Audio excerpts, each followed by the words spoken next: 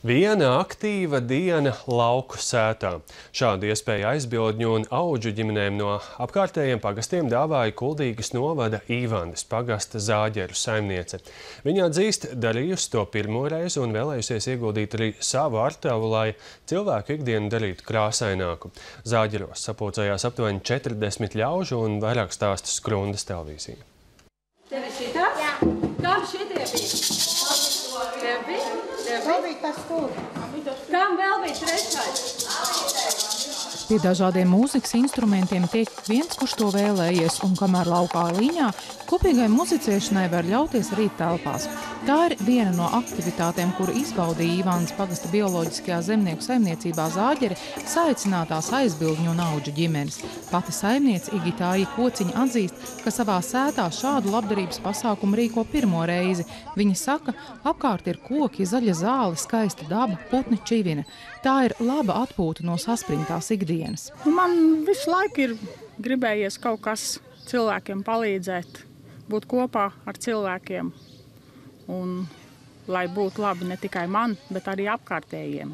Gandarījums par to, kā redzēt cilvēku sejas, priecīgos bērnus. Bioloģiskā saimniecības pamatnodarbošanās ir gaļas lielo paudzēšana, bet te ir sastopami visi lauku sēdes dzīvnieki. Te arī audzē zirgus un māca jāšanas prasmes. Visu to izbaudīja arī saicinātie viesi.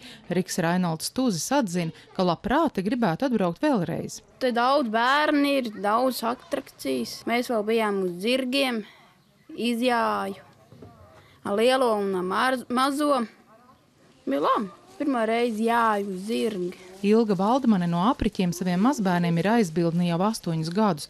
Viņa neslēp, ka ikdiena nav viegla, arī veselība pieklibo, tomēr cenšas iet laikam līdzi, ļaujot mazbērniem izjust ģimeniskumu un pabūt pēc iespējas dažādās vietās un pasākumos. Es pat personīgi viņus izvadāt tā nevaru šitādiem tā.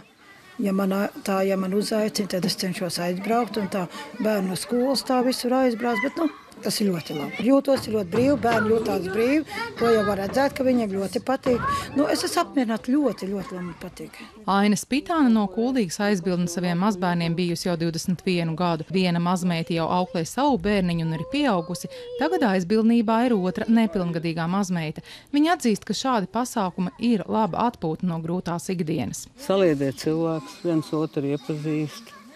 Cilvēki nu, tomēr taču ir no dažādām vietām un, un, un satiekās kopā, viens otru parunā, kaut ko iemācās atkal tādu jaunu. Tiešām taču gribās kaut kur cilvēkiem nu, tā, ka viņus ievēro par to darbu. Ja?